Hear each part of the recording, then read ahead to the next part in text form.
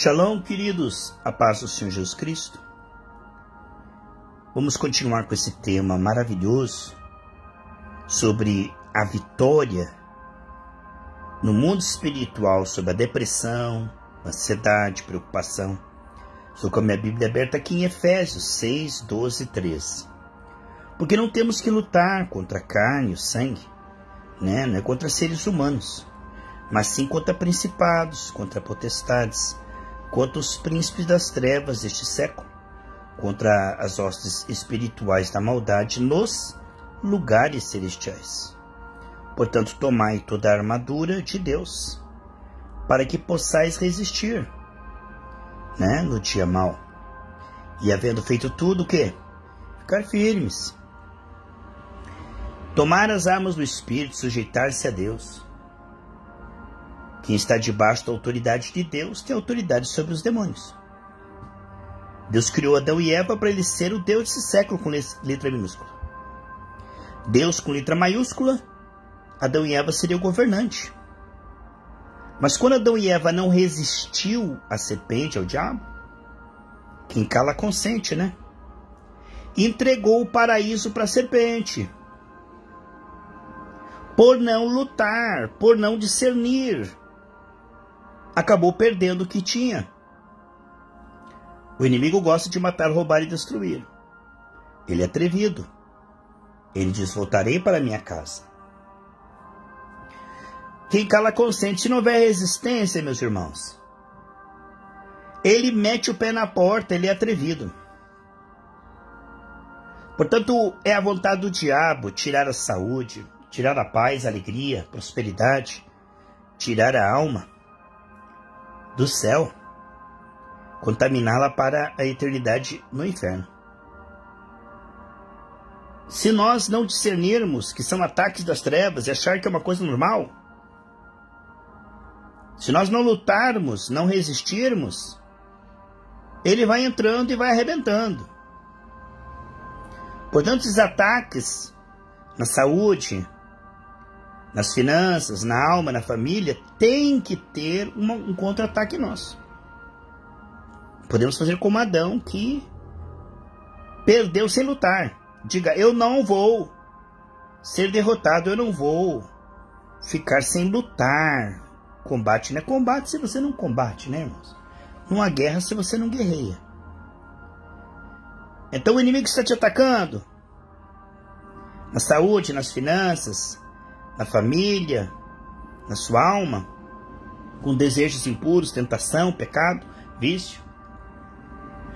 Você compreende que Deus não te colocou debaixo desse cativeiro, mas colocou tudo debaixo de seus pés.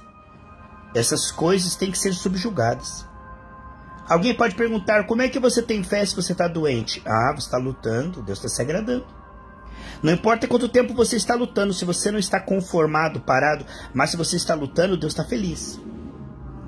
Ah, como é que você tem fé se está desempregado, ou se você está doente, ou se está passando batalha na família? Não importa o quanto somos atacados. João 16,33 diz: No mundo três aflições, mas tenha muito bom ânimo.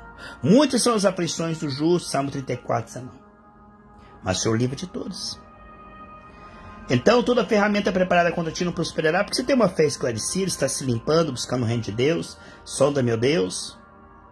Então, você tem uma fé esclarecida para compreender que você não pode deixar esses ataques virem e você ficar calado.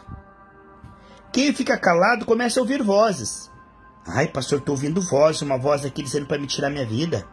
Eu estou ouvindo uma voz aqui. Se você não fala, as vozes falam. Você viu que lá no jardim a voz da serpente? A Eva devia dizer: Oh, Deus nos deu governo aqui, sai fora. Mas eles ficaram ouvindo a serpente. Se você não fala, as vozes vão falar. Ai, tem uma voz aqui me falando: Irmão, se você não ouve a palavra de Deus e não fala, o vale dos ossos secos vai continuar. Vai piorar. Quem cala consente, o inimigo é atrevido. Então, se você não quer ser governado por vozes, se você não quer ser escravo da ansiedade, preocupação, depressão, Medita na palavra e fala com voz alta, porque a palavra foi o que Jesus usou para o diabo sair correndo. A palavra é luz, o diabo é trevas. Então, se você meditar na palavra, você terá argumento. Boca fala, o coração está cheio. Então, entesoura a palavra de Deus no seu coração. Enche o teu coração de munição, que essas palavras sejam suas armas. Assim você poderá abrir a sua boca e dizer o que Deus diz daquela situação. Quando você é atacado na saúde, o que é que Deus diz? Ah, que pelas suas pisaduras você foi sarado. Quando você for atacado nas finanças, o que é que Deus diz? Que Ele suprirá todas as suas necessidades.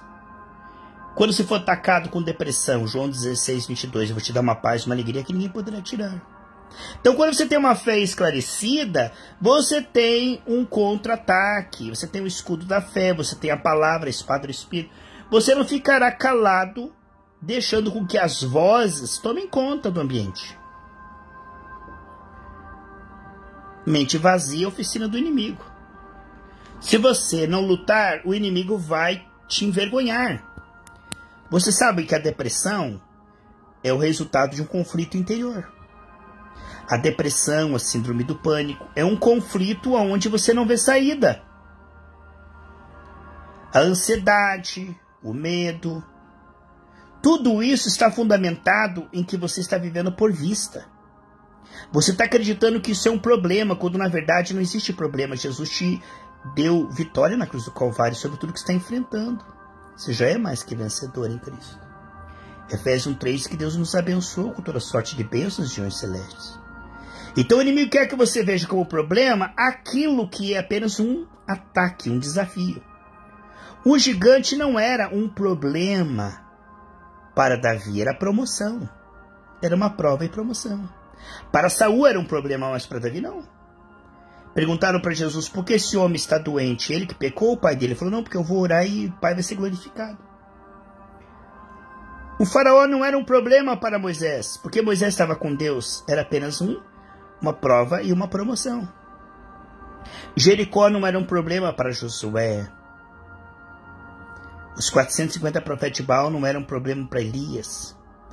Os leões não eram uma, um problema para Daniel, porque Deus já tinha dado vitória. Deus já nos fez mais que vencedor. Nós não lutamos para vencer. Nós lutamos como mais que vencedores. Estamos convencidos disso. Tivemos o coração limpo, o Senhor revelará que isso está embaixo dos nossos pés. Jesus não te deixou aqui escravo da doença, da dívida, da depressão. Essas coisas estão sob seu domínio em Cristo, no Espírito. Quanto mais você se limpa, mais você entende que isso não está sobre você, está embaixo dos seus pés.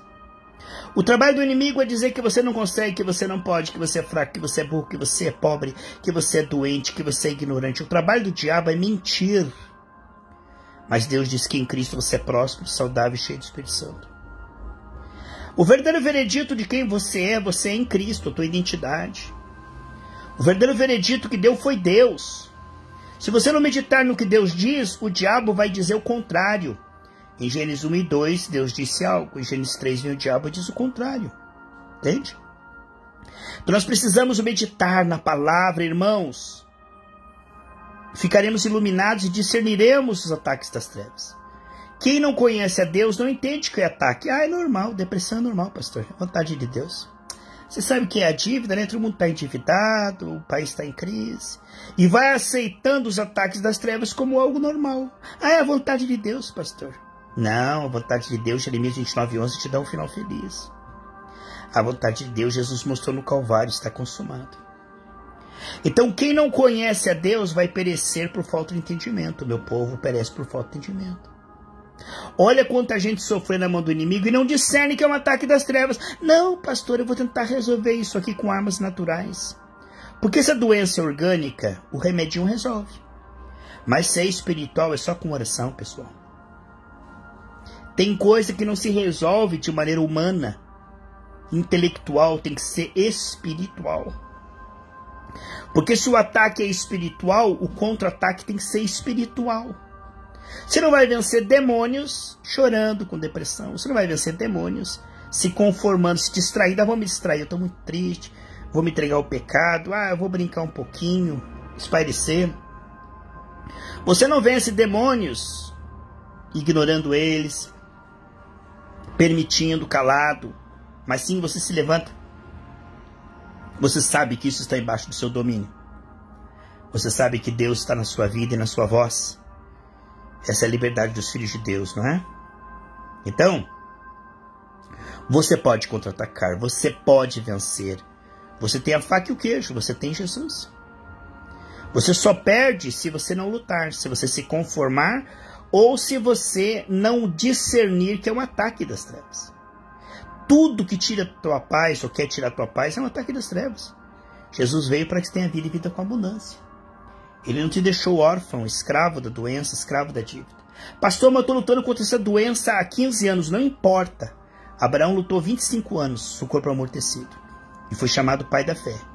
Não importa se você está doente, o que importa é que você não se conforme profetize, põe a mão e declara e alimenta a sua fé. O que importa é que você está lutando. O que importa é que você está no bom combate, até a última gota de sangue. Paulo disse: Combati o bom combate, completei a carreira, guardei a fé. Não importa quem está te atacando, o que importa é se você está contra-atacando. O que importa é se você não está conformado. O que importa é se você está meditando e profetizando sobre dos ossos secos. Isso que importa. Grande abraço. Nós vamos continuar essa série mais para frente em nome de Jesus. Deus te abençoe. Shalom.